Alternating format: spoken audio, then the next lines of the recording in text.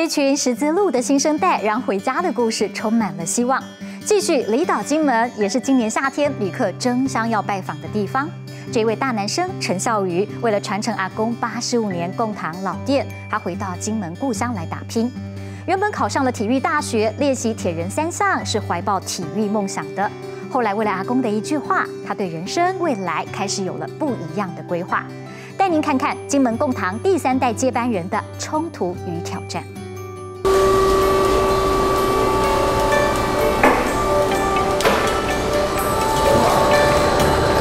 贡堂是入口即化，啊，它叫它是酥的，啊，酥的它的火候呃，大概最起码要一百二十，啊，它的那个糖体才会酥化，啊，那如果要做到硬的话，可能就要拉到一百四十、一百五十，它就变成是棒棒糖去了，好，所以在控制火的这个呃温度要非常小心，哦，过头了就坏了。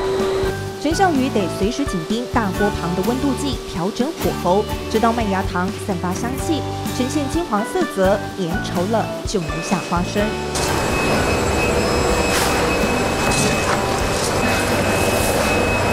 拌好的花生糖黏滴滴，这时才是考验师傅真功夫的时候。这个花生它现在还有还有热度啊。所以基本上不用太快，那这一块它已经硬掉了，那这一块就要很快。怕就是花生糖冷却，糖体变硬，碾压过程就一定碎裂难成型。刚开始学做贡糖，这一关最难克服。这个部分还蛮蛮难的，因为一直失败啊，啊，失败他们后面没有办法做啊，就叫我去旁边站站着看啊。一般来说，糖的温度够，保有韧性，大概可以来回碾压五六次，再包裹自家研磨的满满浓郁花生粉，接着是顺筋，也是贡糖香酥不粘牙的秘诀。这个皮它现在是这个颜色，这个颜色，你看它拉开之后，它的糖体糖体都被拔掉了，拔开了，那这样的贡糖也比较不甜，而且入口即化，因为它把粘在一起的的糖。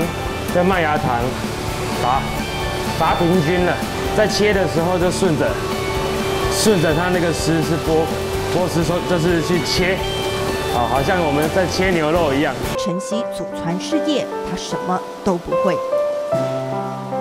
在贡糖制作的方面，就是因为都是第一次第一次摸，哦，那就是都不一样，啊，跟你我们眼睛所看到的都都完全不一样，所以。呃，做起来非常的，呃，应该是非常的难呐。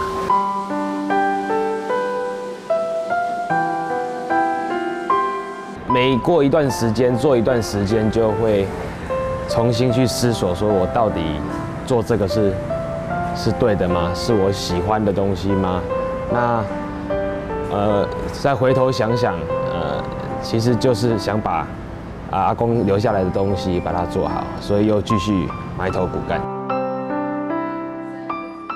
做食品，陈孝瑜完全是门外汉。高中就到台湾念书，大学念台北体育大学，玩起铁人三项，曾经创下日月潭铁人三项纪录保持人。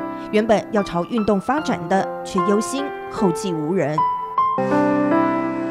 陈孝瑜的阿公早年在中国漳州就是有名的糕点师傅，被请到金门做点心。结果一九二七年国共内战爆发，一水之隔的家乡回不去了，从此在金门落地生根，也把在厦门的贡糖带到金门。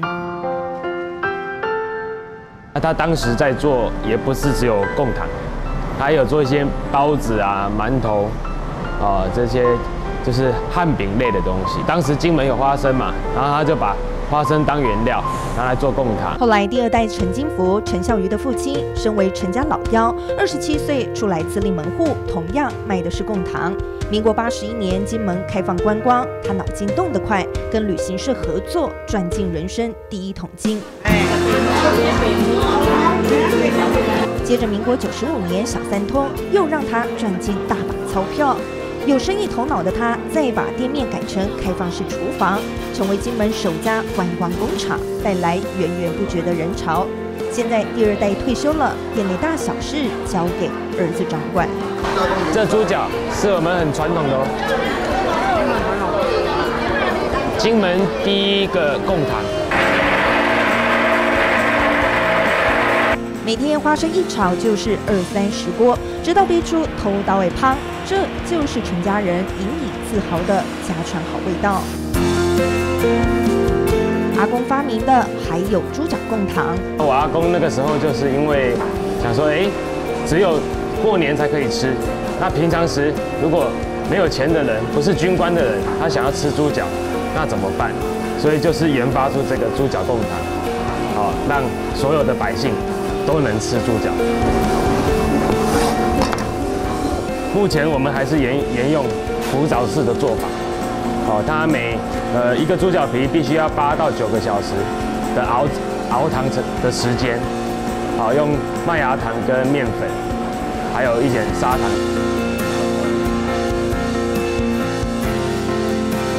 后来大家争相模仿，让猪脚贡糖成了金门才有的特产。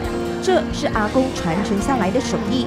秦孝瑜期望自己投入后，可以发挥体育长才，结合休闲、共堂与观光，重新赋予老店新生命。看，看吧。